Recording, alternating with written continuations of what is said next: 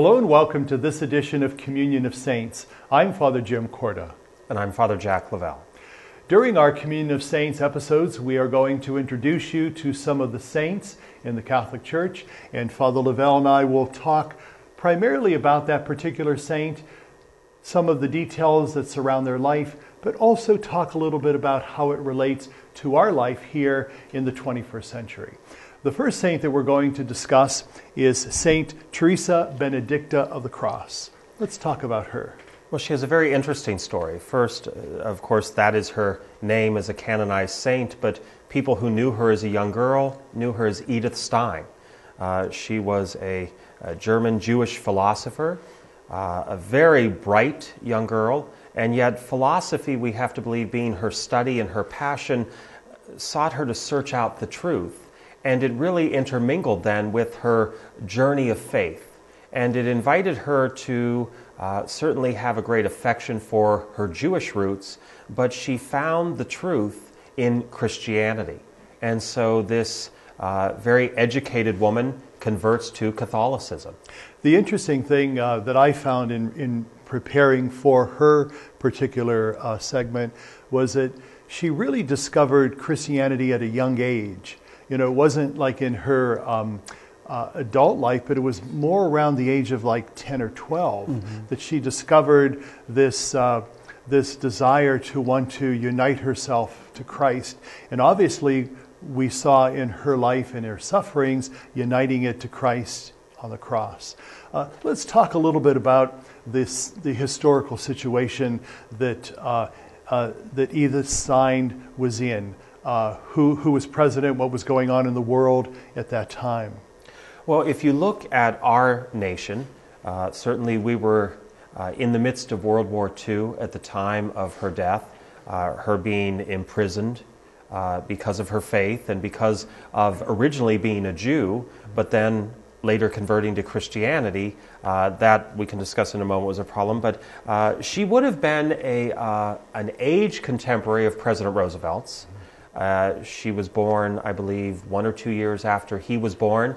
Uh, he was president, and uh, what's really raging through Europe is the Nazi dictatorship that is not only uh, wreaking havoc on Jewish communities, but many people forget on a lot of Christian communities as well. Well, you know, what's interesting uh, in the lives of uh, what I would consider contemporary martyrs is that um, there was some this persecution that went on in their country and in their life, and it permeated not just uh, Germany, obviously at the time, but mm-hmm. But for uh, Edith Stein going into the Netherlands, where she was a Carmelite nun. Uh, let's talk a little bit about her conversion uh, and, and her being drawn to the Carmelites. You know, we know the Carmelites obviously is a, a cloistered order um, founded on Mount Carmel outside of uh, Jerusalem. And so there's that whole sense that um, she's gathered in prayer with these other religious women. And I believe her sister was also a Carmelite nun with her. Yes. And so there's this whole sense of community that's there.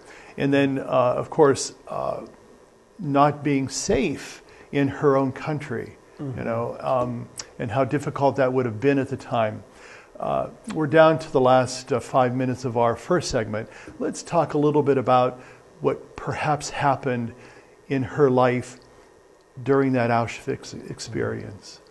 Well, I think before we get there, just to touch on what you mentioned about community, I think it's very interesting to, to look at the perhaps the psyche of Edith Stein. You know, discovering Christianity and discerning what her role will be in it at a young age, but her faith, you could say, kind of grew up with also her intellectual pursuits. And so, again, to go back to that sense of, of philosophy and that study of truth and that study of relationship. How do we respond and react and relate to each other? And yet, that study itself can be very contemplative. And I think that is hallmarked by her religious life. It is one of community. It is one of seeking the truth together and relationship, but then also a very contemplative life as well um, in prayer. Now, with what was going on in the Netherlands, I, I know for many of our, our viewers, they certainly know the story of Anne Frank. And so we see the persecution that was going on in the Netherlands. One of the things that's interesting about why Edith Stein was imprisoned and sent to Auschwitz was her pursuit of her Christian faith. And at that time, the bishops of the Netherlands had um, come out against Nazism and really striving to advance uh, really the social teaching and the moral caliber of the church. And it is in retaliation then that the Nazis wreak havoc on the Netherlands, and certainly then Edith Stein, Teresa Benedict of the Cross, becomes one of many victims. It's interesting because um, as I had read about her life, that uh, when she was uh, taken away with her sister uh, to the concentration camp, that her her community of sisters tried everything that they could to, to keep her and to save her, but she went joyfully. She said, Don't worry about me. You know, pray for yourselves, pray for the world. And so there's a sense that she went out and, and to her death, uh, joyful and at peace. And, and let's go back to her name. She had a devotion to St. Teresa of Avila. And so, hence, she took the name of Teresa and then uh, of the cross you know, obviously, again, tying herself to Christ on the cross. Um, she was uh, canonized. Uh, she was actually beatified in 1987 and then was canonized in 1999 uh, by John Paul II. Um, her feast is August 9th. Uh, what else could we talk about for uh, Edith Stein? Well, I think one of the things you bring out, certainly in her devotion to the cross and in her martyrdom, which I think is true for all martyrs, they pattern themselves after the suffering of Christ. Uh, Christ did not go kicking and screaming up the Mount of Calvary.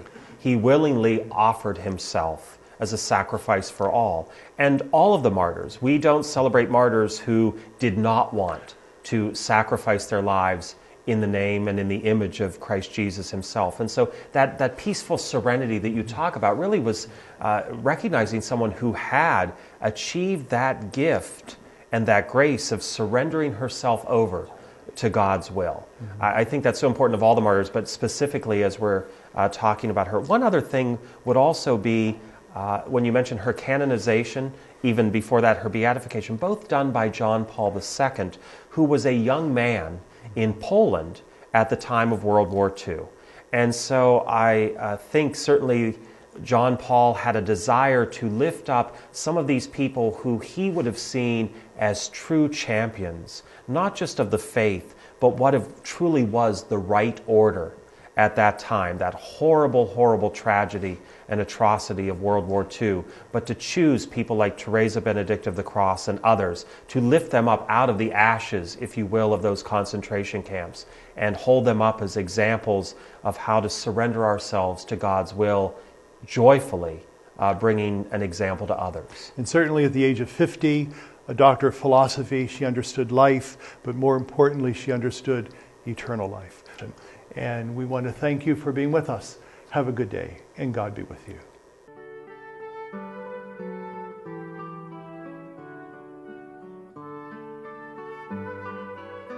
The Communion of Saints was a production of CTNY, the Catholic Television Network of Youngstown. Your program hosts were Father Jim Korda and Father Jack Lavelle.